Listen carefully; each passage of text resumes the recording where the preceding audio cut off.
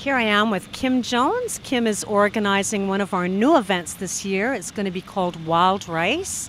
And uh, it's going to be Saturday night, and it promises to be a wonderful event. Tell us about it, Kim. Oh, yeah, it's entitled Wild Rice Celebrating Women and Art. And this is an idea that started a couple of years ago, actually, when Stacy Becker and I kind of started collaborating with our high school choirs.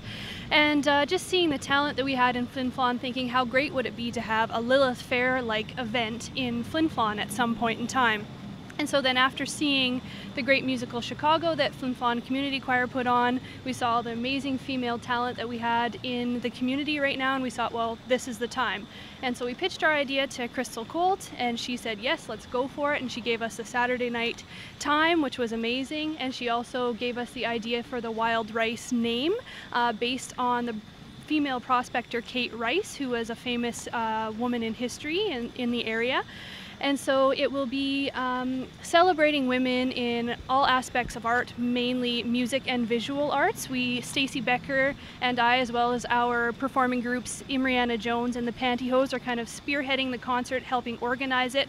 And we are and will be approaching different solo groups as well as um, groups like the Pantyhose and Imriana Jones to perform at this concert, this one night only concert.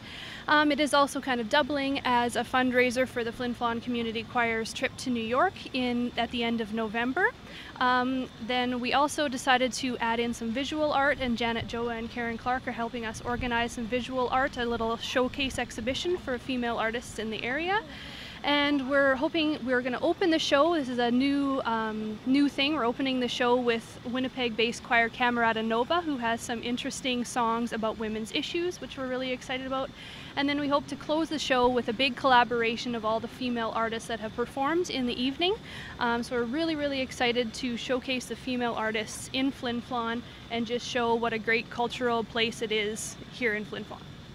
Well, that just sounds like an absolutely wonderful time. It sounds like it's going to be a really special evening. And uh, look for the programming in, in the paper, and uh, that will be a, a wonderful night to, to look forward to. Thank you, Kim Jones.